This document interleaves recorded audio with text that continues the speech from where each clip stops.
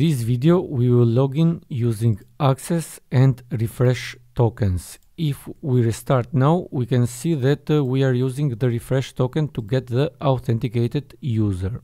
Before we build the app I would like to remind you that this video can be combined with other videos. So if you want to use Vue.js with any of these backend frameworks and more because I don't know how many backend frameworks I will add Check the links in the description of this video to select your favorite backend framework. Now let's build the app. We will start with a pre-created Vue app that contains three components, all in HTML. They will have a simple router configuration and in our app component they will have the same header and some common styles.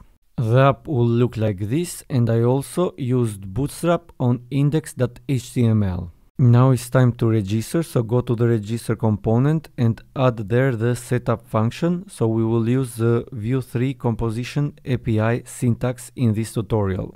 Next, we will add the submit function that we will return it and we will use it on our HTML when we submit the form. Now we need to send a request to the backend, so we need to install a package called Axios. Make sure also to import it. Now to submit the form I will use a different way than usual, so I will use the name on the inputs. In the event that our submit function will emit will contain all the inputs that we need. So for that I will create a form from form data using the event.target.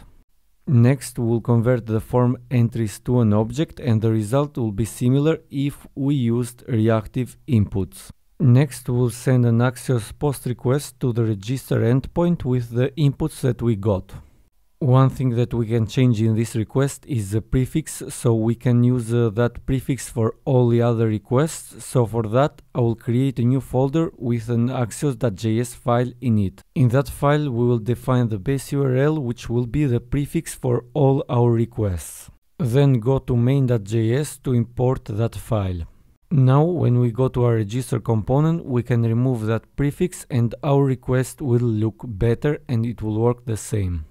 So now we can register users but uh, we want uh, to redirect to the login page once uh, the request is successful. So for that we need to import a router and uh, in the end we will push to our login page.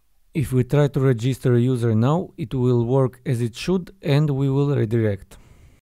We will do the same thing for the login component now. Since uh, login and register are almost similar, I will copy the setup function from the register component and I will paste it to the login component. Let's add the missing imports use router from Vue router and also let's import Axios. The endpoint will be login and in the end we will redirect to the home page. Don't forget to add submit.prevent on the HTML to submit our function. Still, our login request has not finished yet because we will get an access and a refresh token from the server. To get the refresh token, it is in the cookies, we need to use an option with credentials to true when we send the request. Otherwise, we won't be able to get the cookies from the backend.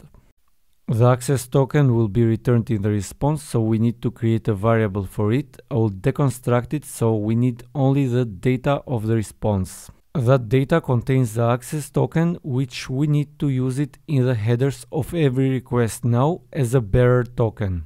Now when we try to log in with our registered user, we will see that the response will return a refresh token cookie. Then if we log in again, we will see that uh, in the second request, we will have uh, in the authorization header a bearer token. Now let's get the authenticated user in the home component. We will add the setup function with a message variable. That message variable will be displayed on the h3 tag in the HTML. Then we will add an onMounted function. This function will be called once the HTML has been rendered.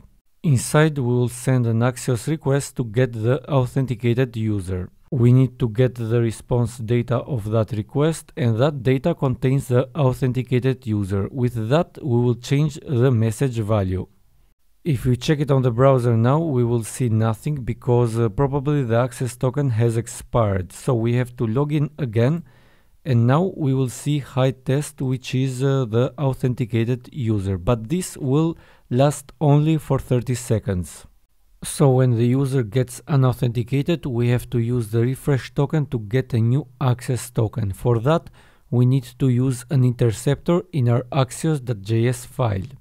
We have to check it only on the error case and we have to check if the status code is 401, which means unauthorized. If the status is 401, then we have to send a post request to refresh our token. Don't forget to add with credentials to true because we need to send also the refresh token cookie. We will get the data and the status from the response if the status is 200, it means that we got a new access token and we have to add that access token to all headers. And after that we have to do our previous request and error.config contain information about our previous request.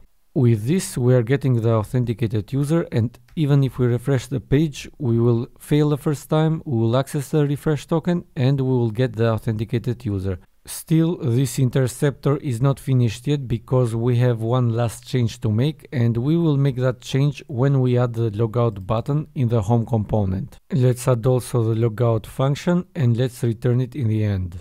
In the logout function, we need to send a post request to the logout endpoint. We need also with credentials to true because we will remove the refresh token cookie. We need also to set all authorization headers to an empty string and that will remove also the access token.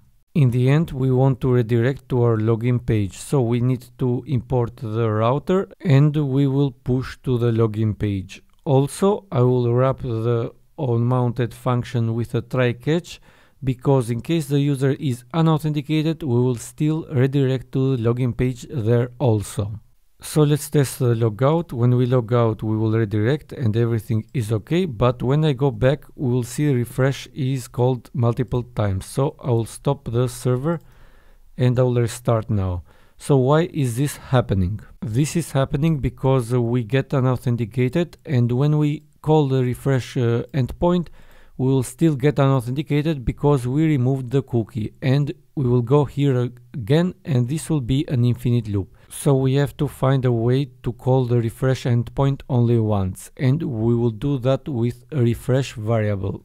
We will add that variable in the if condition when it's not refreshed and then we will set the refresh to true. This means we won't be stuck in an infinite loop and in the end we will add the refresh false again to call the refresh endpoint, otherwise it won't be called anymore. With this, the user and refresh endpoint are called only once, and we cannot go to the home page unless we log in. When we log in, we will get redirected there and it will display our names. So this is how we can log in with access and refresh tokens. Also, if you want a more complicated course, I created the Ultimate Authentication course with Node.js and Vue.js or you can select another backend language because uh, they are the same.